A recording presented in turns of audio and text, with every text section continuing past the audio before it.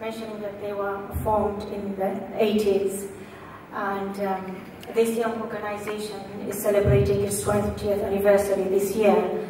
Um, is young on the global scene, but it's really senior on the local level because in 1991, environment was not an issue that was on the agenda, neither was it, this was a popular terminology discussed in, in, in, in any forum or a day uh, topic.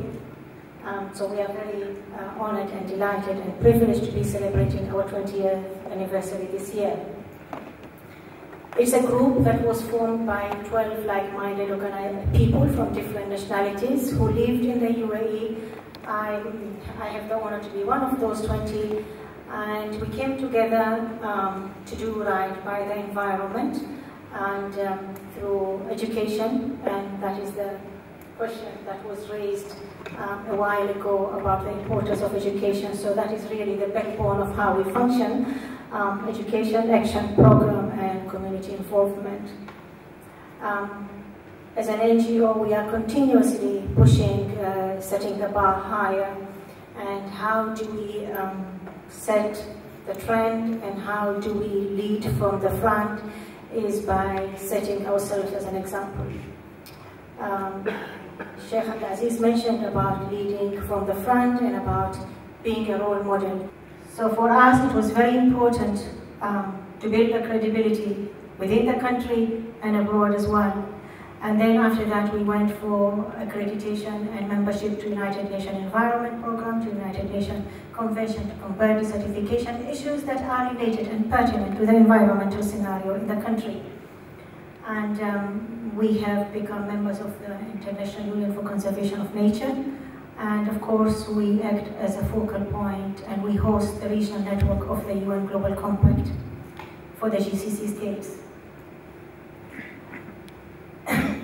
we believe as well, I think most, I think all NGOs know this as a fact, that one hand cannot clap, that for us to achieve and to be successful and to be effective, we have to work together. Um, this is still a challenge on the ground um, for the private sector to have faith in the local NGOs and to support local NGOs. Um, I know we talk about social media, I know we talk about different but how effective, how much do we have the political power, and how aligned is the media to all these issues?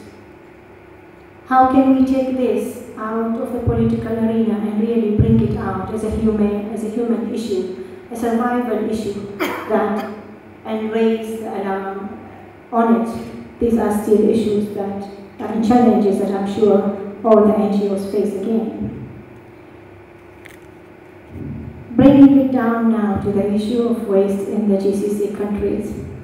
It's become like you know a cliche. Whatever we say, we say, oh, GCC countries produce a lot of waste, um, and nobody seems to feel embarrassed by it or anything to that effect. You know, as if it is a normal thing, and people go about uh, business as usual. But really, it is an unfortunate and a sad story that GCC countries produce 80 million tons of waste every year. And the numbers show you there. And when you compare the six countries, UAE is the second. Um, so this is not something that should be taken lightly. Um, this is not something really that should not have an active and effective. In the morning, one of my colleagues was asking, where is the role of the universities and colleges? Why are they not invited? I do not think it's only the invitation that will make a difference. I would like to see universities and colleges really taking a very critical look at the curriculum that is at their hand. And is it really meeting the requirements of this region? And are we really teaching the future generation?